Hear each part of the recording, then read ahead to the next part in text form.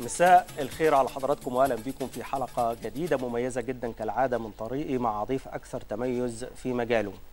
إذا كان الحكم هو عين الحقيقة عند أهل القانون فالأدب والرقي والشياكة والجمال هما عنوان للثقافة عند أهل الأدب والثقافة والفن ضيفنا النهاردة اللي مشرفنا في الاستوديو ربنا كرمه بأن جمع ما بين آه أن هو يكون يمتهن مهنة آه القانون واللي هي مدرسة الحياة ومنحة من عند ربنا سبحانه وتعالى اللي هي موهبة الشعر والأدب اللي هو تذوق معنى الحياة آه هنتكلم النهارده إن شاء الله تعالى مع ضيفنا الكريم عن المنظومة القضائية ولكن قبل ما نتكلم عن رحلة نجاحه وكفاحه آه بداياته وحلمه ودخوله كلية الحقوق اللي هي كلية العظماء.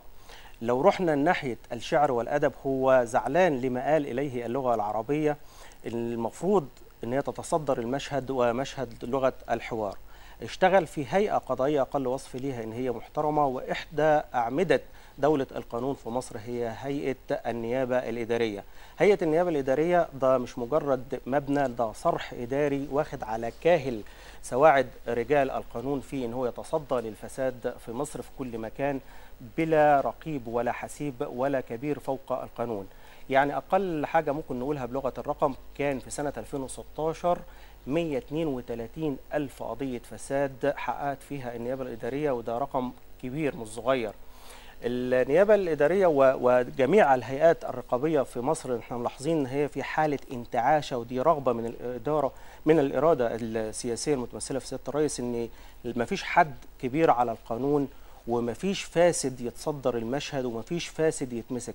هنسأل ضيفنا كيف تدار المنظومة القضائية في مصر. في من كلمة كده دايما بيقولوها أهل القانون هو حقيقي فعلا في مصر في سيادة للقانون ولكن السؤال هو في فساد بالقانون؟ هنعرف الكواليس ده. كمان إنك أنت تروح شرف لأي حد خريج كليه حقوق أو شريعة وقانون يكون ربنا يكرمه ويمن عليه وياخد صفة من صفة الإله إن هو يكون حاكم ويدخل هيئة قضائية في مصر بما متعارف عليها من نزاهة. آه الوساطة وكارت الواسطة أو الوساطة هو ده فعلا إحدى مصوغات التعيين ولا لأ؟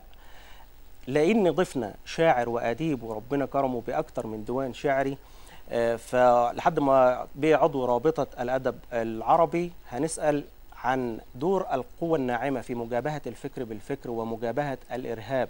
ده لأن هي كلها منظومة واحدة الفساد والإرهاب. هما في بوتقة واحدة بتطلع لنا دايما ناتج مش كويس. بيتصدى ليه رجال القانون وعلى رأسهم هيئة الرقابة هيئة النيابة الإدارية. آه نقدر نتكلم مع ضيفنا في الأدب والثقافة والفن والقانون لأن هو شاعر وليه أكتر من ديوان. وأديب ومستشار وحاصل على دكتوراه وشرفنا النهارده في طريق نقدر نستمتع وإحنا بنقول ونحن في رحاب العدالة مع ضيفي القيمة والقامه اللي مشرفنا في الاستوديو معالي الدكتور المستشار علي أحمد علي شلوفة نائب رئيس هيئة النيابة الإدارية. شرفتنا مع المستشار. أهلا, أهلا بيك وشرف واضافه وجودك معانا. يا مرحبا أهلا وسهلا. أهلا رحلة حضرتك ربنا كرمك كده بأكتر من موهبة ودي من عند الله سبحانه وتعالى. ولكن دايما في طريق بنرجع للبدايات شوية اللي هي الأسرة والبداية وال آه الاسم علي أحمد. علي أحمد شلوفة. الجد كان اسمه محمد أحمد المحسن الملقب بشلوفة.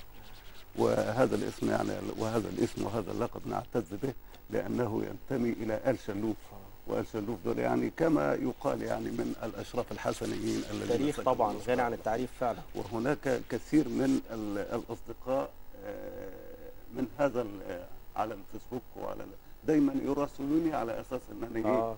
أحمل هذا الاسم. تاريخ الميلاد في 4 9 54 في طور الفارقية أساسا أنا من بني عدي. بس آه بني عدي ده تاريخ ده ولكن والدي عليه رحمة الله كان في الفترة دي سنة 54 كان في هم رحلة عمل في القاهرة ولدت في القاهرة في في حلوان بالذات. قعدت حوالي سنتين كده في وبعد كده رجع الوالد للقاهرة ونشات في قرية بني عدي قرية بني عدي الحمد لله قرية مباركة. ينتمي بلد العلم والعلماء. بلد القرآن الكريم, الكريم. بلد القرآن الكريم. وبلد العلم وينتسب إليها كثير من العلماء.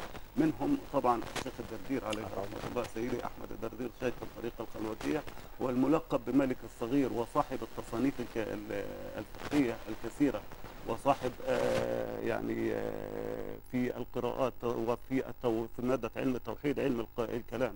منها الشيخ علي الصعيدي العدوي.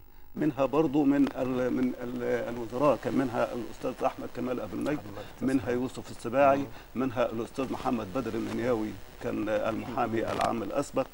آه، التحقت آه، أول آه، اولا باللي هو مدرسة بني عادل الأزهرية اللي هي جمعية تحفيظ القرآن. انضمت إلى الأزهر سنة 64 وأصبحت مدرسة بني عادل الأزهرية. قعدت فيها حوالي لحد السنة الخامسة الابتدائية. بعد كده التحقت بالمرحلة ال- الإعدادية عن طريق تنسيق القبول اللي هو آه، امتحان القبول للمرحلة آه. الإعدادية. ده كان زمان في الأزهر وحاليا يعني طبعا انتهى لأنه أصبح لابد من الحصول على الشهادة الابتدائية لل- للالتحاق بالمرحلة الإعدادية. حصلت على ال- الإعدادية سنة 69 سنة 69 بنظام آه، الثلاث سنوات وكانت أول دفعة دفعتنا تأخذ الإعدادية بنظام الثلاث سنوات. كانت الإعدادية الأزهرية في هذا العام كانت مزدوجة. جانب كان آه، من الطلبة كان واخدها نظام أربع سنوات وجانب كان واخدها نظام ثلاث سنوات. إحنا كنا أول دفعة تاخد الإعدادية الأزهرية بنظام الثلاث. بعد كده التحقت بال- بالمرحلة الثانوية برضو في الأزهر.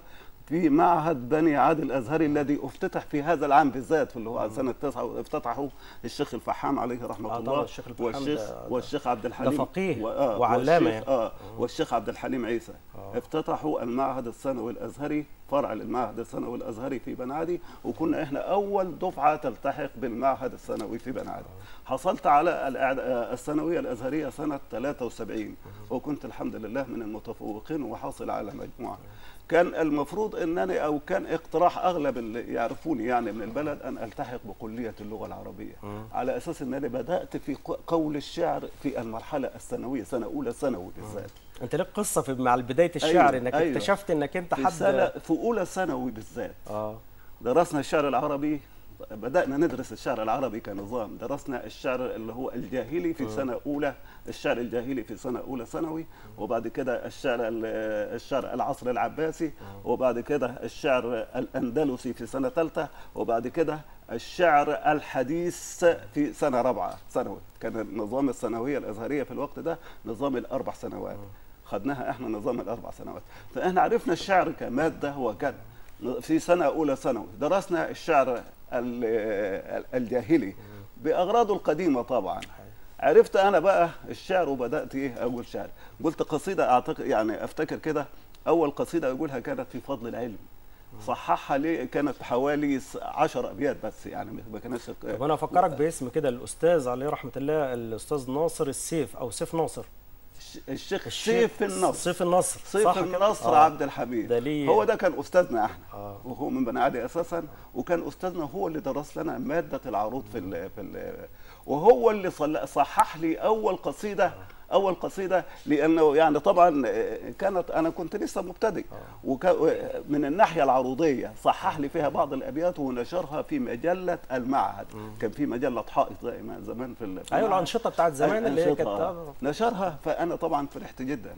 بعد كده قلت قصيدة في في آه، الزعيم جمال عبد الناصر. وكانت قصيدة حلوة جدا. بس للأسف كله ده ضاع مني لو في حد وفي حد كده يعني الواقعة دي لو لو صحيحة يعني كان آه. إحدى الزملاء في في الفترة العمرية اللي هي تقريبا في الثانوي آه. قال لك حاجة فما عجبتكش فأنت رديت عليه بهجاء شعري بالظبط شفت إحنا متابعين إزاي؟ لأن حضرتك سيرتك عطر يعني فإحنا آه بس أنا ما حبيتش اقولها دي تفاصيل يعني هو اللي بدا ده إبداع هو الاسترسال هو اللي هو. بدا إحنا كنا بنذاكر في يعني في إحنا بني عادي كانت على على الجبل يعني آه، على سطح الجبل. آه. فكنا بنتجمع كده ونسا ون و- في الخلا كده ونقعد نذاكر هناك واحد قال البيت كده يعني ما عجبنيش شوية فالمهم أنا بصراحة عملت فيه قص... قصائد هجاء آه ارتجال ده دي برضه موهبة من عند الله آه يعني ب... ومن وتحس إن ومن حضرتك راجع واخد حقك ومن هذا يعني. ومن ف- هذا المنطلق بدأت بقى أقول شعر. وقلت شعر كتير في المرحلة ال- بس بقى لما دخلت كلية الشريعة والقانون كانت كلية الشريعة والقانون كانت كلية يعني مثقلة. أكاد... أكاديمية بحتة آه، يعني أكاديمية مثقلة بحتة. بهموم ب... وأنا ب- كنت برضو فكرت يعني أو ظننت إنه يعني مرحلة الشعر انتهت. يعني أنا كان فيه واحد آه، قريبي يعني في في المنطقة الأزهرية ما كنتش أعرفه. آه، لما بقدم له الأوراق بتاعة التنسيق آه، يعني آه، أعجب بالاستمارة بتاعتي يعني. بيقول لي أنت علي أحمد علي أحمد من بني عادي مين؟ قلت له علي أحمد علي أحمد شلوفة. قال لي أمك فلانة. قلت له آه أنت مستعرف عارف، آه، عارف. قال لي أنا خالك. آه. وقعد وفي الآخر حاول فيا إن أنا أخش كلية اللغة العربية. عليه رحمة الله وانتقل إلى رحمة الله. قال لي أنت يعني آه، أنا بسمع عنك وبتاع ومش عارف إيه وفي اللغة العربية كويس ودرجاتك حلوة وهتاخد مكافأة. قلت والله أنا مختار استخرت الله سبحانه وتعالى ولي زميل يعني حضرتك رحت الشريعه والقانون أيوة. بناء على آه، رغبتك بناء على آه، رغبتي. انت حابب ده. وليا زميل متفقين على إن إحنا نخش شريعة وقانون. آه. حاول فيا قلت له هي شريعة وقانون. قال لي توكل على الله. الحمد لله تخرجت من كلية الشريعة والقانون بتقدير جيد جدا آه، بس ثبتني مرتبة الشرف. في السنة الرابعة كان آه. المجموع مش تراكمي زمان آه، لا ما كانش تراكمي كان في. مرتبة شرف أيوة. وفي جيد جدا أنا كان المفروض يعني أنا كنت أول واحد مرشح لكلية الشريعة والقانون في اسيوط آه. ولكن شاءت إرادة الله سبحانه وتعالى إن أنا أسيب مرتبة الشرف في في سنة رابعة. الت- سنة خمسة بتقدير جيد جدا برضه آه، ترتب على كده ان أنا استبعدت من التكليف للمعيدين. آه زمان كانوا بيكلفوا الحاصلين آه. على مرتبة الشرف يكلفوهم معيدين. وإرادة الله سبحانه وتعالى عينت في النيابة الإدارية آه، سنة واستلمت العمل سنة وعسى أن تكرهوا شيئا وهو وعسى أن تكرهوا شيئا عز وجل رسم. لك طريق مختلف آه بعد كده في كنت محب للدراسة. آه. كنت محب للدراسة. حاولت أدرس في الأزهر ما لم أتمكن لأنه ما كانش فيه في كل في أسيوط آه، لم يكن آه، دراسة دراسات عليا في كلية الشريعة والقانون في أسيوط كانت الدراسة كانت لسه. آه كانت الدراسة في القاهرة. كانت الدراسة في القاهرة وكان بيشترطوا نسبة حضور يعني لا يمكن لأي واحد يشتغل في اسيوط يقف فيها. ترتب على كده دخلت آه، كلية الحقوق خدت ثلاث دبلومات اللي هم دبلوم القانون العام ودبلوم القانون الخاص ودبلوم الشريعة الإسلامية. آه، بعد كده التحقت بمرحلة الدكتوراه والحمد لله رب العالمين. ربنا يكتب لك النجاح بإذن الله. عايز أرجع. برضه لل- لل- للموهبة الجميلة اللي هي منحة من عند ربنا سبحانه وتعالى ما بيديهاش لأي حد. ولسه يعني الشاهد من كلامك إن الشعر بالذات وأهل الثقافة والأدب والفن مواهبهم لا تموت آه. يعني ممكن موهبة فيها مهارة معينة ما مارستهاش خلاص يعني تنقطع لكن الشعر والقارئ الجيد دايما بيفضل هو المحصلة لا- لا والرزق تموت أبداً. وتستدعيه في أي وقت لا تموت ابدا آه. بدليل إن أنا رغم انقطاعي عن الشعر فترة حوالي خمس سنين يعني اللي هي فترة الدراسة آه لما جينا نصرح من القوات المسلحة آه يعني أنا كنت بخطب بهم الجمعة في آه. في في المسجد. آه. يعني آه، بالعساكر والجنود والضباط يعني كنت بصلي بهم الجمعة يعني. وكنت بصلي بهم. أنا الحمد لله حافظ القرآن كويس يعني. الله بسم الله ما شاء الله. كنز وجوهره ربنا آه الله. يخليك. كنت بصلي بيهم فجاء طلب مني اللي هو مدير الرائد. الوحدة. آه رائد. وقائد السريه آه. قال لي أنت تعمل الحفلات وتشرف عليها. طب أنا ماليش في الخطابة كتير لكن أنا ممكن ليا في الشعر. أيوه الجزء اللي هو ممكن تأديه. آه آه، ف يعني بفضل الله يمكن آه، هو عمل حوالي ثلاث حفلات آه، متواليات على ثلاث ليالي. كل حفلة كنت أكون مجهز هو الضيف الشرف آه، موجود آه، مجهز له قصيدة شعر مناسبة لهذه الحفلة. والحمد لله بقت يعني العملية ما هي برضه. اللي هي المواهب المواهب دي جميلة سبحان الله آه، وبتزكي الشخصية في أي مكان طبعا. الحمد لله. طب أنا حابب حابب نستمتع كده بشعر يعني. أنا عارف حضرتك ليك ثلاث دواوين أنا ليا منهم ما بين العامية وال- ليا خمس دواوين. خمسة. آه. خمس دواوين. ثلاثة مطبوعين. آه منهم اثنين عشان كده بقول إن آه، إحنا موجود في ليهم السوق ثلاثة ثلاثة مطبوعين واثنين تحت الطبع إن شاء الله تعالى. الثلاثة المطبوعين منهم اثنين بالفصحى. آه. قطار هو الحياة. قطار الحياة. قطار الحياة. عاشق وده سميته ال- قطار الحياة مم. باسم قصيدة كنت ده ده الديوان الأول. ده الديوان الأول. آه. طبع مكت- مكتبة الآداب في القاهرة. آه. وده سميته قطار الحياة. هو اسم قصيدة فيه. كنت قلتها في رساء. الأستاذ عبد الحميد عبد المنعم فارس كان شاعر آه، من, آه. شاعر من يعني ابن من أبناء بني عدي وكان شاعر وكان أبوه عضو هيئة كبار العلماء في من آه القصيدة دي كنت بعتها طيب هو من الجمال اللي حضرتك بتتكلم فيه مشرفنا بالاتصال الكاتب الصحفي الأستاذ حسين عمر. أهلا بيك يا فندم. أهلا أهلا. صحتك عامل إيه؟ شرفتنا. إحنا مشرفنا في الاستوديو بتبارك بيه معالي المستشار علي ش... علي شلوفه. آه طبعا الشاعر الكبير الله. والمفكر الإسلامي الله يخليك. وصديقنا العزيز معالي المستشار الدكتور الله- علي أحمد علي. الله الله يخليك. يعني غني عن التعريف. الله يخليك يا أستاذ حسين.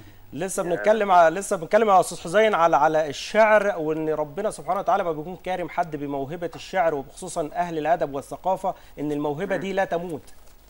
أيوه تمام تمام. ده لكنها تحتاج إلى ال- الصوبة الفنية والبيئية صحيح. التي تنمو فيها لأنه إحنا لدينا في تاريخ الأدب العربي عباقرة كانوا آه، ربما أكثر موهبة ممن اشتهروا لكنهم دفنوا زي آه، ابن لنكك مثلا الذي كان مجايلا للمتنبي وقال قصيدة نردد كل يوم بيتا شهيرا منها وهو نعيب زماننا والعيب فينا وما لزماننا عيب سوانا. عيب سوانا. والناس ينسبون هذا البيت للإمام الشافعي لكن هذا الرجل هو قائله ولكنه لم يأخذ حقه.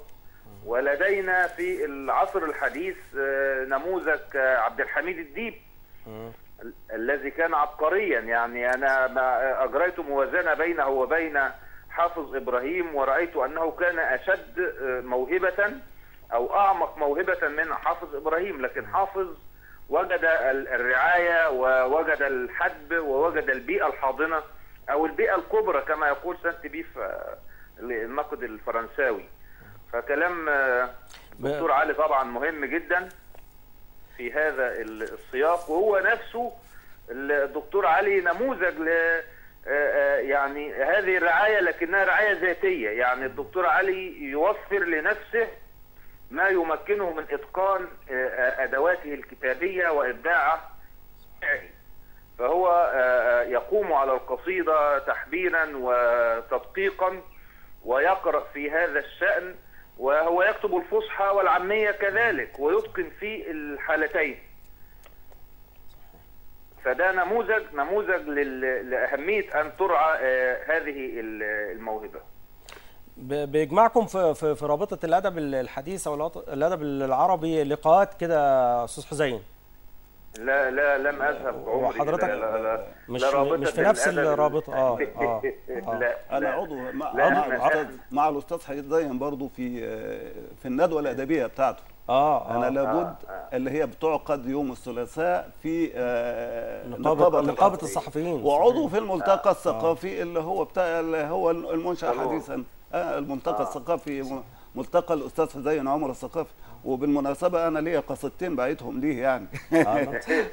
ده. شرف بس- لي يا دكتور الله يخليك. لي. هو فعلا معرفتي برضو آه، بال- بالدكتور علي قديمة جدا آه، ربما قديمة. ربع قرن مثلا آه، و- وأعرفه من ال- البيئة الأولى له من أسيوط ولقاءاتنا الأساسية كانت هناك في ندوات في أسيوط ثم بعد ذلك أصبح ركنا ركينا من ندواتنا الأسبوعية في نقابة الصحفيين كل ثلاثاء روننا الشهري الذي نعقده في النادي الأهلي للصحفيين آه، سيادة المستشار يضيف دايما برؤاه ال- والابداعيه وبفقهه القانوني ال- العميق. ويمكن آه، برضو تتطرق لجزئيه علمية لديه أنه مفكر إسلامي. و- لا أعرف إذا كنتما ناقشتما هذه الجزئية أم لا. وهو آه، لديه آه، كتاب قيم ومهم. منه الجزء الأول عن تفسير سورة يوسف. آه، وسيصدر الجزء الثاني قريبا هو يعني رؤية آه، فيها جدة ومختلفة تماما عن كل ما قيل في آه، سورة يوسف وذهب فيها مذاهب اجتهادية مهمة جدا. شكرا يا أستاذ حسين شكرا يا فندم على الاتصال نشكرك ألف شكر آه هرجع برضو للجمال والشعر اللي هي حضرتك يعني. بداية اسمها نش- نشكر الأستاذ حزين يعني طبعاً. ده صديق عزيز وصديق يعني أنا هقول قصيدة هو الديوان العامية المطبوع بع- بعنوان زمجان وهطج زمجان مش آه زمجان مش, مش طهجان بالقاف آه أيوه زمجان آه آه بالقاف. دي لها دلالات في الصعيد برضه آه، الكلمة إحنا آه. بنوضحها ويمكن- تفرق عن كلمة آه زهجان آه تفرق آه, آه، آه. دي معناها مضيق كده آه. ومحروق أيوة. إنما زهقان يعني قرفان كده آه. يعني و- تعبان ما هي آه. الحس العادي لل- للناس فاهمة صحيح. ومفرقة تماما بين لما واحد يقول لك زهقان غير غير بالبلد يقول. لك والله ده زمجان آه صح زمجان آه. بخلاف ما يقول لك زهقان لا صح. ده, ده تختلف أنا هقول هي ال ال ال عنوان ال- الديوان على أول. قصيدة آه،. زمجان وهطوق وأنا هقولها يعني هي. هو هي خفيفة كده. آه بنقول زمجان يا ولاد وهطق من قال اللحمة بخمسين وتزيد دجنان وشرود ومجاعة كمان غول الأسعار طفحت ناره يهديك زمان وياك مش قادر أتصور الجيل الجاي هيعيش إزاي؟ ولا قادر أحلم بسعادة وأنا جبت اللحمة بخمسين قرش كان الجزار يفرح بيا ويكرم لي يقطع لي من الحتة الحمراء اللي عايزها ويعين الدهن.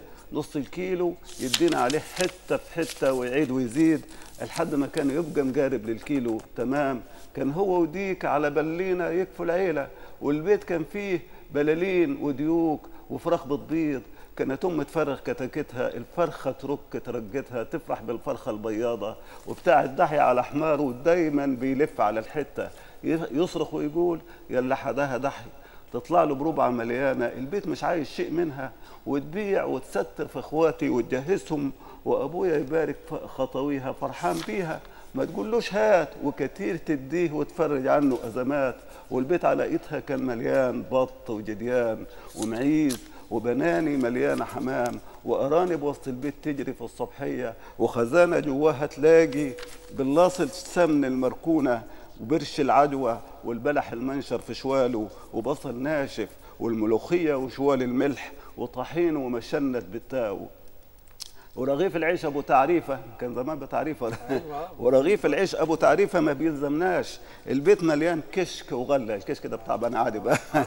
كشك وغلة. وكمان بلاليص جبنة قديمة. دلوقتي البيت أصبح فاضي. ورغيف العيش طلع عيني وعيون الناس. ولسان حالي يهتش ويقول يرضيك يا شيخ أحمد شلوفة. ربيتنا في عزك وحنانك. وأنا كنت وحيد وسط بناتك ورفضت شريك على دكانك كان بده يوسع تجارتها علشان ما تضيقش عليا. في الصبح تصحيني اصلي وتقول لأمي تحلب لي عنزة تفطرني تملالي كوباية كبيرة كسك بسكر بالسمن العايم على وشه وأروح المعهد شبعان وأشرب مية وأرجع في العصر تغديني وتطلع لي حتة لحمة. غير بالليل وسط اخواتي. أعمال مين يقدر يعملها مع اولاده ايامنا دي؟ الله يرحم أيام فاتت وزمان ولا ويساعد على أيام سودة وفراخ بيضة وطبيخ بايت في الثلاجة واعذرني يا أبوي إن كنت بقول زمجان وهطق الله. بس والله أنا ما أملكش غير إن أحيي حضرتك من قلب والله. تجسيد لحالة كده ولطريقي. آه كده من البداية لحد ما وصلت البيت وكلت أيوة الحمد لله. لا واتميزت كمان حضرتك يعني. آه أنت بتاخد أكتر من نايب ده الديوان الأول ده سميته بقطار قطار. الحياة على القصيدة اللي. اللي هي آه. ودي آه والقصيدة دي بالذات أداني الأستاذ الدكتور عبد المنعم خفاجي عليه رحمة الله عضوية آه رابطة الأدب العربي رابطة فخرية يعني آه، من غير ما آه، يقدم الثاني ده ديوان بقى الفصحى برضه عاشق البدر لأنه فيه أكثر من قص- قصيدة برضه بديوان عاشق البدر وأغلبه شعر عاطفي يعني. آه.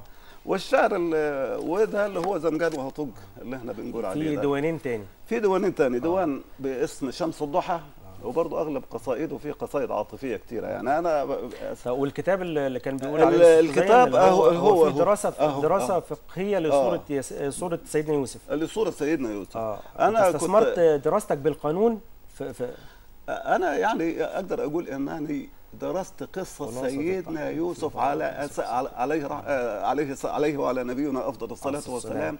دراسة دراسة قانونية من ال... يعني طبقت عليها التحقيق في آه، براءة آه، يوسف الصديق. خلاصة التحقيق في براءة يوسف الصديق هو عبارة عن كتابين. آه. الكتاب الأول ده طبع في قصة المؤامرة على يوسف عليه السلام من قبل إخوته. الكتاب الثاني ب- بعنوان قصة المراودة. كنت هطلعهم كت- كتاب واحد لقيت الكتاب هيكبر شوية وهيتأخر. ففضلت إن أنا أقسمهم على قسمين وأطلع الكتاب الأول ده في قصة في قصة المؤامرة على يوسف اللي هو اقتلوا يوسف أو اطرحوه ارضا اللي هي الدلائل والشواهد والقرائن آه. وإثباتات والحالة طبقت على هذه القصة أصول التحقيق أصول التحقيق اللي إحنا درسناها في في كتب في كتب الإجراءات الجنائية في آه. كليات الحقوق وفي كلية الشريعة والقانون على هذه القصة وعلى فعلا سورة سيدنا يوسف من آه، كباقي يعني زي باقي آه، سور القرآن الكريم فيها إعجاز. وأيضا على ربنا- وأيضا على قصة المراودة. قصة المراودة الحمد لله خلص. وعلق عليه برضو الأستاذ حسين عمر آه، مشكورا يعني كما علق على هذا الكتاب يعني برضو علق على هذا الكتاب و و وله دراسة فيه في حطيتها في نهاية الكتاب. بعنوان يعني الحقيقة يعني نسأل الله تبارك وتعالى إن إحنا نكون يعني إيه ربنا ي- عند مستوى عند مستوى حسن الظن عند الاستاذ. حسين وغيره. خيال الشاعر وتدقيق المحقق يعني. الثاني برضو جمع فيه بين أحزان يعني ربط فيه بين طب كان الموهبة كان الجميلة السرية دي الحلوة اللي هي ترجمت في أكتر من من ديوان وكتاب طبعة أولى وثانية أو جزء أول وجزء ثاني. هياخدني للسؤال ده فادك في في في عملك كرجل قضاء وقانون؟ يعني لا، لا. ماذا أضاف الأدب للقانون وماذا أضاف القانون لا. للأدب؟ لا شك الحمد لله رب العالمين اولا يعني اللغة وبرضو الدراسة أنا لما يعني يعني آه، أصل مادة الفكر هي منظومة كاملة آه، متكاملة منظومة صحيح. كامله آه. وال- والفكر إذا يعني إذا لم يقرأ الإنسان في كل مجال أه، الثقافة أهم من العلم يعني هي ثقافة أهم حاجة الثقافة الثقافة لابد أن يكون والمحقق بالذات لابد أن تكون ثقافته متسعه. في كل آه، في. كل المجالات وإلا لا يستطيع أن يحقق الموضوع اللي معاه. أنا بحقق موضوعات مختلفة عن بعضها البعض ما كنتش عندي ثقافة كاملة بكل ناحية ما عرفش أحقق ده متهيألي آه. كمان حتى طريقة عرضك لو هتكتب مذكرة لرؤسائك أو تقرير معين آه، الحمد الص- لله. الصياغة بتفرق. آه، بالضبط. آه. أنا يعني الحمد لله. أنا من ساعة في بعض ال- الضيوف لما يكون ربنا كريمهم بموهبة زي كده فتلاقي طريقة طرحه وعرضه للفكرة مختلف تماما عن إن هو يكون أكاديمي بحت يعني. يعني أنا الحمد لله من ساعة ما دخلت النيابة الإدارية وأنا موثوق فيا في ناحية اللغة العربية أيوة، بالذات طبعاً، يعني. وكانت دايما تبقى مذكراتي مختصرة عن مذكرات الثانية ومستوفاه يمكن وربما تكون مستوفاه يعني طب على على ذكر اللغة العربية حضرتك ليه زعلان إن هي ال- الوضع اللي قال ليه اللغة العربية دلوقتي؟ يعني أنت ما الدراسة. مم. الدراسة هو المعلم. المعلم. سبب آه، المدرسة والد- الدر- والدراسة. آه يعني المفروض نهتم باللغة العربية وأن ونهتم بمعلم اللغة العربية. للأسف دلوقتي برضو مستوى المعلم لم يعد كما يعني إحنا في المرحلة الابتدائية درسوا لنا إعلام. إعلام إعلام يعني. كان آه، كان عندنا فضيلة الشيخ حسين عيد آه، العدوي. آه، ربنا متعه الله بالصحة والعافية. كنت سلس. يعني خش الحصة كده كأنه بيسقيك ال- آه مادة البلاغة. يعني كل المعلم يعني أنا أعتقد وهذا صحيح أن مستوى المعلم اللي كان بيدرس لنا إحنا في سننا أحسن مستوى من أستاذ الجامعة حاليا في اللغة العربية وفي أي مادة من المواد متأسس اللي- صح وحامل للرساله آه. وبيديها كما يجب أن. يكون يعني. فعلا. هو حابب كمان المهنة مش وحابب مش للمهنة. فكرة آه، إن أنا موظف إيه وكادر إيه آه ك- يعني كان آه والحالة العامة برضو مع المستشار كانت كانت حلوة الأب والأم والبيت والأسرة يعني كان مثلا نقاشات المجموعة اللي هي في الفترة دي ممكن تختلفوا وتتفقوا وتحبوا كتاب بالظبط ال- بالظبط ال- لغة الحوار أنتم متفقين آه. على مين مين أفضل مين ال- الصراعات اللي كانت حاصلة ما بين العقاد ما بين طه حسين؟ فالحالة العامة كانت فيها حالة من من وكنا الثقافة بنحفظ يعني وكنا بنحفظ الشعر. آه. يعني أنا ويتباروا بيه آه، كمان مش يعني أنا لا- حتى الآن كنت يعني مثلا آه، كانوا أولادي أنا أولادي دخلوا الأزهر. كان الواحد منهم يجيب القصيدة أقول له طب آه، هو في ثانوي؟ وأنا عديت الثانوي من من فترة. أقول له هات القصيدة. سمعها لي. يس- اسمعها له. قصيدة عنترة وقصيدة مش عارف. يقول لي طب انت يقول له طب انت المفروض ال ال ال ال أما ال- الكتاب ده والمواد دي اللي جايبينها لك المفروض تحفظها. بس على ذكر كلامك لابد ان يكون عندك ثروة. آه. نعم.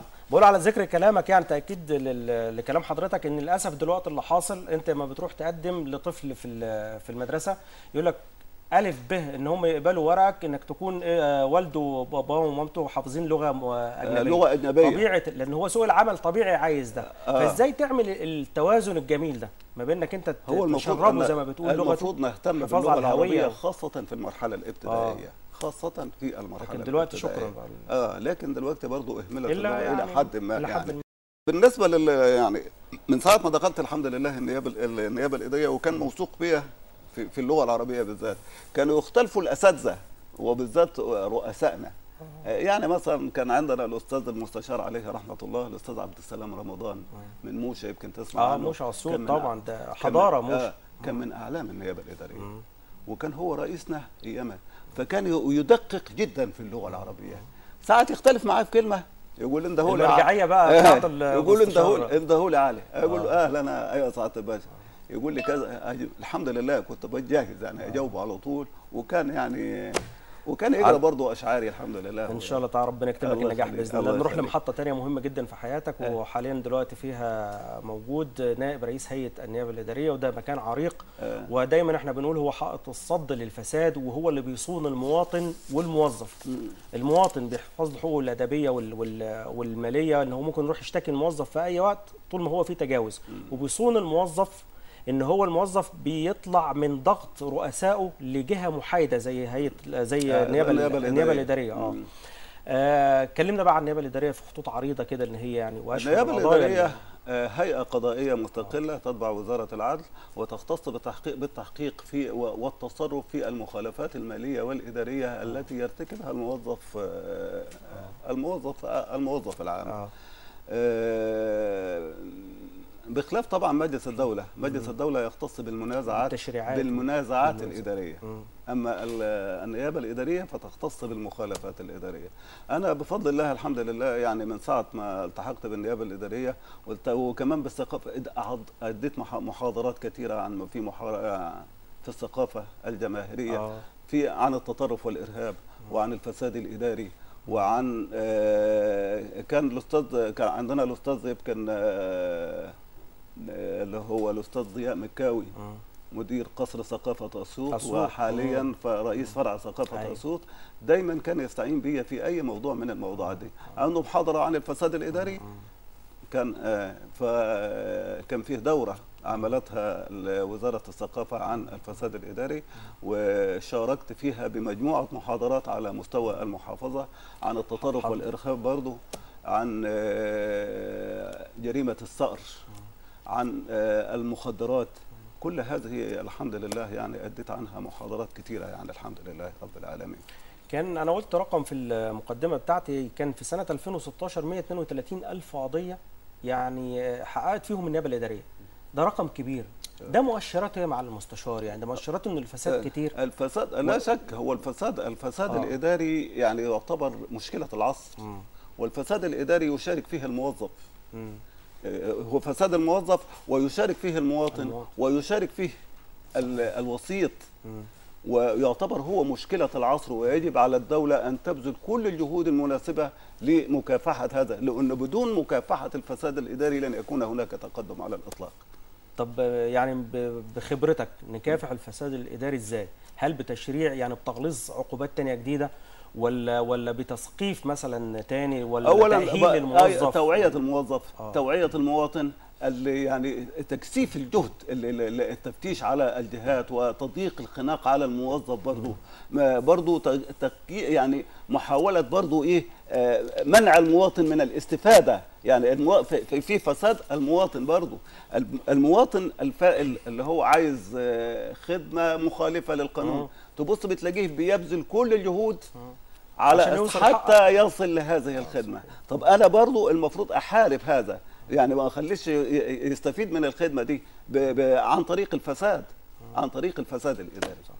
سؤال عايدنا على حضرتك الجراءة والقوة دايما. و...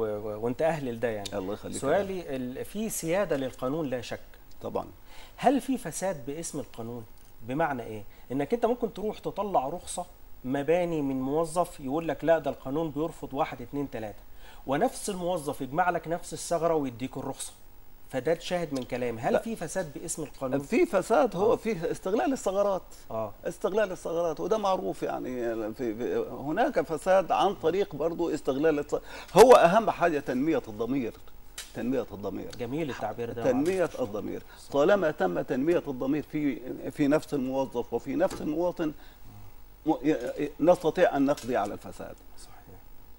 النيابة الاداريه طب في مثل يعني قريب كان في واقعه كده يعني بستثمر وجود حضرتك معايا في إنك أنت تديني الدلالات القانونية بتاعتها.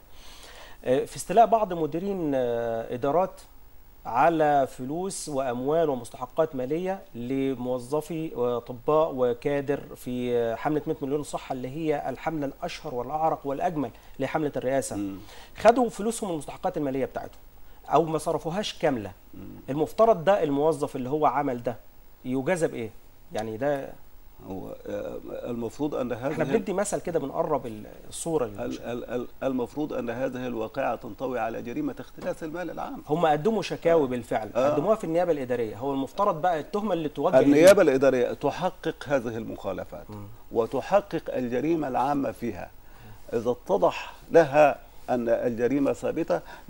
خاصة ال- القضايا المهمة دي بتحال للنيابه العامة لاتخاذ يعني لاتخاذ الإجراءات الجنائية ضد المتهم وترجئ البت في المخالفات الإدارية لأنه الجريمة دايما الجريمة العامة بتنطوي على شقين شق جنائي وشق تأديبي الشق الجنائي تتولاه النيابة العامة والشق التأديبي تتولاه النيابة الإدارية. يرجى البت في الشق التأديبي لحين انتهاء النيابة العامة من الإجراءات الجنائية وبعد ذلك تتصدى النيابة الإدارية للشق التأديبي الشق التأديبي ممكن ممكن يحال الم- الموظف إلى المحاكمة التأديبية وممكن أن يجازى بالخصم أو باللي هي الجزاءات المنصوص عليها في قانون العاملين المدني ما- قانون الخدمة المدنية. قانون الخدمة المدنية. غالبا القضايا المهمة دي بتحل المحاكمة التأديبية وبيبقى ال- الموظف معرض لتوقيع ممكن هو يتوقع عليه جريمة ال- عقوبة الفصل من الخدمة. الخ- الفصل بغير الفصل التأديبي. الفصل التأديبي. أنا أنا يعني استوقفني تعبير كلمة صحوة الضمير اللي حضرتك بتقولها يعني. فهي دي طيب لو موظف مثال تاني. لو موظف آه، ثبت عليه راح النيابة الإدارية وثبت عليه آه، اختلاس معين ونقل من مكانه هل يجوز لرئيسه تاني إن يرجعه آه، يوديه مكان تاني على نفس الكادر بتاعه؟ يعني هنا كان مدير وداه تاني مدير في مكان تاني. هل ده يجوز ليه؟ ولا يبقى في مخالفة من من رئيسه؟ ما هو نقل من في نفس المصلحة لا في مصلحة تانية. في في نفس مصلحة. المصلحة في نفس في نفس المصلحة. في نفس آه. أصل هو النقل ليس ليس عقوبة. العقوبات التأديبية منصوص عليها في القانون. هي ال- الانذار تبدأ بالإنذار وتنتهي بالفصل من الخدمة. أما النقل ده ممكن يكون إجراء احتياطي. وفي وفيها الوقف من العمل. الوقف من العمل أحيانا يكون عقوبة. أحيانا يكون عقوبة تأديبية. ما هو ممكن تحقق النيابة الإدارية وتنتهي بمجازات الموظف وتعاقبه بالوقف عن العمل لمدة محددة. وممكن يكون الوقف عن العمل إجراء احتياطي زي الحبس الاحتياطي. آه، بالنسبة. للنقل هو بالنسبة- دفع هو آه، اتحقق معاه ودفع المبالغ دفع مبالغ ودفع. الم- آه. آه تمام. آه فاتنقل لإدارة تانية ولكن مدير. يعني أنت أنا اللي أنا عايز أقوله أنا بدي مثال ليه حضرتك آه انت أنا هنا مدير فليا صلاحيات آه. بما ان ثبت ليا في فترة من الفترات على يد هيئة قضائية زي النيابة الإدارية آه،. زي النيابة الإدارية فدفعت الفلوس إزاي أروح مكان تاني وابقى مدير وليا نفس الصلاحيات النيابة الإدارية في مثل هذه الحالات دائما بتدي توصيات معينة آه يعني مثلا مع تقول لك مجازات فلان الفلاني بكذا مع مراعاة إبع... اس- استبعاده. آه، استبعاده عن الأعمال الإدارية آه المالية آه. بالذات في في في, الجرائم يعني في المخالفات المالية. بتطلب استبعاده من ال- الأعمال المالية. استب...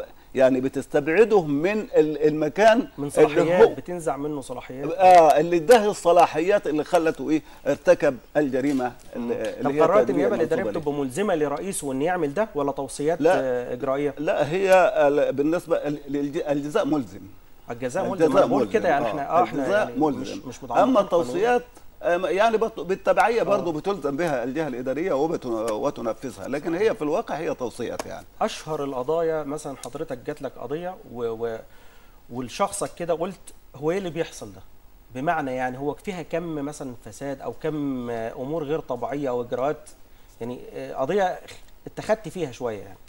والله أنا أنا عارف إن حضرتك ده تاريخ ومضمار إحنا حققنا قضايا كتير. آه. في عو... في عواصم المدن في عواصم المدن عواصم المحافظات آه. غالبا تكون المخالفات مالية. مم. يعني آه، اختلاس آه، استيلاء على المال العام. آه، في في المراكز برضو التعدي على الأرض الزراعية بالبناء من المواطنين وعدم اتخاذ الإجراء من الموظف المختص سواء كان آه، مجاملة لصاحب الشأن أو بمقابل. يعني المفروض الموظف يعني هو في كل وحدة زراعية كل في كل مكان أو في كل قرية وحدة زراعية. وح- الوحدة الزراعية دي اختصاصها إيه؟ المحافظة على الأرض الزراعية. يجي المو... يجي المواطن يبني له مثلا يحوج له حتة مم. منطقة معينة. ودي من أهم الجرائم برضو اللي ب... اللي بتضر بالصالح العام. لأنه ال- الرقعة الرقعة الزراعية كادت أن أمن تنتهي. قومي بت... أمن قومي آه. صحيح. آه، دي هذه النوعية من القضايا دي بنلاقيها كتيرة في المراكز. آه، أما في المحا... مراكز المحافظات آه، عواصم المحافظات غالبا بتكون المخالفات مخالفات مالية ومخالفات استيلاء على المال العام واختلاس و... أشهر. القطاعات اللي بيبقى فيها فساد هو طبعا مش مش مش طابع أو إلزامي يعني لكن في قطاع معين بتلاقي هي معروف المح... مستشري فيه. المحليات المحليات المحليات فيها انحراف كثير يعني آه، بالظبط هو ومديريات الخدمات يعني آه. آه. في آه، السؤال الثاني اللي هو كلمة أنا قلتها برضو تاني كارت الوساطة و- وحلم دخول النيابة أو أي هيئة قضائية للأسف في معتقد عند البعض إن أنا مثلا شهادة الجامعة بتاعتي وحسن السير والسلوك والتحريات وكارت الوساطة إحدى مسوغات التعيين ده بقى يعني حقيقة الأمر إيه؟ لا، أنا لا. أنا بستثمر وجود حضرتك معايا لا لا لا وعارف إن حضرتك يعني كلامك مصدق لا، لا، لا. بحكم الموقع وحكم كل تاريخك و... لا كلها آه. هذه ظنون بنطمن. وكلها ادعاءات ك... ادعاءات كاذبة من من ناس بتتدخل كوسطاء يعني هو في الواقع مش وسيط بين ال... بين بين أيوة. لا هو بيدعي آه. أنه وسيط بين فلان وبين فلان وبياخد وعلى فكرة أنا يعني شكى لي ناس كتير أيوه وكنت أحذرهم أقول لهم يعني أنا أفتكر واحد زميل ليا شكالي وقال لي فلان آه، اسم يعني معين آه. كده آه، طالب مني آه، محامي. وبيقول أنا وسيط بين المستشار فلان. قلت له المستشار فلان استحاله ده هي قال لي طب أنا مديله 30000 جنيه. قلت له الله ده مش منطق يعني. وفيه مش 30000 و- وفيه 30000 جنيه تاني. بس لما يخلص قلت له الله يخلف عليك في ال- أيوه في اللي راح. اللي. صح كده آه. قال لي يا قلت له والله اللي هيحصل كده طيب. نشوف شوف. هتعمل إيه. لفت لفت الأيام واتضح نفس الكلام اللي أنا قايله لأنه أنا عارف يعني فهي كلها ظنون ظنون وادعاءات كاذبة من ناس بيدعوا أنهم وسطاء في كان في بعض الناس بياخد وأنا طبعا في من أبناء القرى وأبناء القرى دول بيت يعني حابين. بنتلامس أيوة. كده بين أيوة. الناس و... صح واحد منهم واحد واحد مثلا ياخد مبلغ معين ويقول لك هعين لك ياخد منه مثلا خمسين ألف جنيه. تقعد معاه ال ألف جنيه دي إيه؟ سنة. آه استثمار بقى؟ آه. وفي نيته. تقعد معاه. يقضي به مصلحته. أيوه. والله إن اتعين إن اتعين وكان. يبقى. خلاص خير عين وبركة. وفلان خير وبركة. أيوة،. طب ما تعينش. لا والله بقى الظروف وبتاع ومش على عارف إيه. ويا عم فلوسك جاهزة. أيوة. ويدوا له فلوس. آه الكلام على يبقى استفاد. إيه؟ ده دول أحسن الناس أحسن نوعية أحسن نوعية من هؤلاء بس الوسطاء جديدة الفكرة دي مع المستشار هو لذيذ يعني أنا اللي هو اللي هو أنت ليك فلوس وهتاخدها. أيوة. عارف اللي هو مبدأ أيوة. الجراءة ده اللي ما تقلقش ويدوا له ويدوا له شيك ويدوا له قصدي وشهود وإيصال، إيصال آه. أمانة. ويدوا له آه. ليه؟ لأنه هو عارف إنه هيردوا للمبلغ. بس هو هياخد المبلغ سنه اتنين بقى لحد ما تبان. آه، هياخد المبلغ لمدة سنة.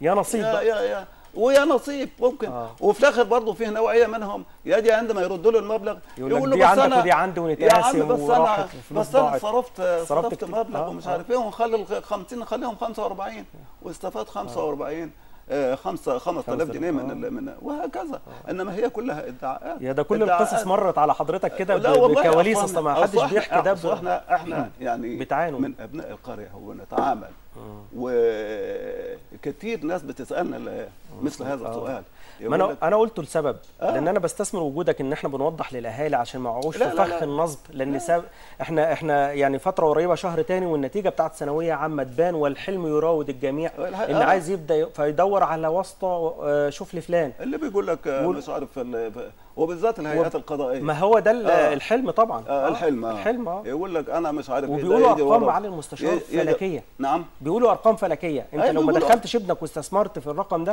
ده بيقولوا 500000 700000 و200 و100 ايا كان بس ال- الفكرة في حتى بداية دخول ما بني على باطل فهو باطل أنت عايز. تدخله برشوة فده كارثة آه، هي كارثة طبعا أنت. عايز تطلع قاضي. آه. أو حاكم آه. وياخد صفة الالوهيه إنه يحكم في بين الناس برشوة طب منتظر منه إيه؟ فلذلك ربنا عز وجل لا- لابد أن يكون منحرفا. آه آه بدايات أن بدايات. الفساد. آه. صحيح. لا هو بالنسبة لل- لل- للتعيين في في في الهيئات القضائية له ضوابط وقواعد محددة. أبرزها إيه مع المستشار أبرزها طبعا المؤهل. مم. وأبرزها الوسط الاجتماعي طبعا طبعا. لابد آه مم. ما يكونش مثلا مرتكب آه، جريمة جريمة أو- أو أو- أو أو أهله. مثلاً- أو أهله يعني من درجة معينة يعني آه ولابد أن المستوى الاجتماعي اللائق مم. اللي بتقدره برضه السلطة المختصة في ال- في هي ال- في الهيئة القضائية ال- حتى آه، يكون في في منطق برضه في في المهنة إن هو مش في هي مش فكرة أفضلية مين أفضل من مين لا في منطق لا. في المهنة بمعنى إيه عنده هو ما يكفيه من ثوابت مثلا بالضبط. آه، تاريخية وعائلية وبتاع تخليه مؤهل للمنصب لهذا العمل بس ولهذا مش المنصب لكن آه. هو مش آه. مش فكرة أفضلية مين لا، لا، لا، والكلام لا، اللي. بيتقال لك وهو- أصل ابني مش عارف مين ما يدخلش لا ابن مين دخل بالظبط آه. دخل لأنه حقه لأن ما فيش حد أحسن من حد بالظبط آه. هو وبعدين أصل هو كونه يستبعد من آه، من الهيئات القضائية لسبب معين مش معناه إنه يستبعد من كل الوظائف طبعا. هو فيه فرص ثانية بيتعين في. فرص ثانية بيتعين في الجامعة ممكن إذا كان متفوق بيتعين في الجامعة بيتعين في وظائف كثيرة يعني صحيح. وشفنا ناس من هذا من هذا القبيل يعني صحيح. لم يعينوا في في الهيئات القضائية وتعينوا في وفي اللي بيعين بيتعين في هيئات قضائية ويجي له كادر الجامعة على حسب استهوائه بالظبط. آه بالظبط آه بالظبط موجود. آه طيب وأعداد كلية طلبة كلية الحقوق دي ال- العدد الكبير ده ده كويس للمهنة وتوابعها ولا لأ؟ كان ضيفني مع المستشار آه، سامح كمال وقال هي عبء ان هو إن- لا هو لا شك عيب هو لا آه. شك عيب وإحنا في مصر افتتحنا عدد كبير من كليات الحقوق ومن كليات الشريعة والقانون. يعني لم تكن مصر في حاجة إلى هذه الأعداد. يعني في حوالي 13 كلية حقوق. كل ح... كلية بتخرج حوالي آلاف. وكليات الشريعة والقانون. فين ال... وبعدين يعني ال... ال... الطالب الذي يحصل على المؤهل ولا يعين به بيترتب يعني بيرسب نفسيا فيه. طبعا. فأنا يعني كان المفروض تدرس الع- العملية دي. والحمد لله هو حاليا ما فيش افتتاح آه، يعني آه، دلوقتي أصبحت كل كل محافظة فيها كلية آه، كلية حقوق. طب ما ما ما فيهاش ما فيهاش كلية هندسة. ما فيش هن... ما فيهاش كل- كلية علوم. صحيح. ما فيهاش كلية طب. صحيح. وإحنا الكليات اللي إحنا عايزينها الكليات العملية. آه. يعني الم- المفروض إحنا نهتم بالنواحي العملية. للأسف يمكن في الفترة الأخيرة ابتدأ الشعب المصري كتير منه يتجه إلى ال- ال- إلى التخصص ال- ال- يتدرج ده كويس. الناحية الأدبية. آه، صحيح. آه، تبص تلاقي آه، آه، أهملت الناحية العلمية شوية. لا إحنا المفروض نهتم بالنواحي العلمية وبال وبكل وبكليات وب- وبالكليات العلمية. المهنية. المهنية. دي لابد منها. أما كليات الحقوق المفروض بقدر الحاجة يعني. صحيح. طيب السيدات العظام في النيابة الإدارية وطبعا كانوا هم وهم لهم باع ومضمار كبير لهم باع، آه، طبعاً، حضرتك آه. وأنت نائب رئيس هيئة فأكيد في رئيس للعديد منهم يعني. حابب تقول إيه عنهم والله طبعا يعني إذا ذكر أساسي يعني. إذا ذكر السيدات فمنهم سيدات عظام يعني لا شك كانت على راس على القمة طبعا الأستاذة هند طنطاوي مم. رئيس هيئة النيابة الإدارية مم. آه، أول أول مستشار يرقى في في ال- في النيابة في النيابة الإدارية في على مستوى آه. الدولة آه. أول سيدة تحصل على درجة مستشار في مصر الاستاذه المستشار عليها رحمة الله توفت إلى رحمة الله وأنا يعني بصراحة كنت أحبها وأقدرها ولما تعينت رئيس هيئة النيابة الإدارية قلت قصيدة قصيدة. شعرية آه، فيها آه.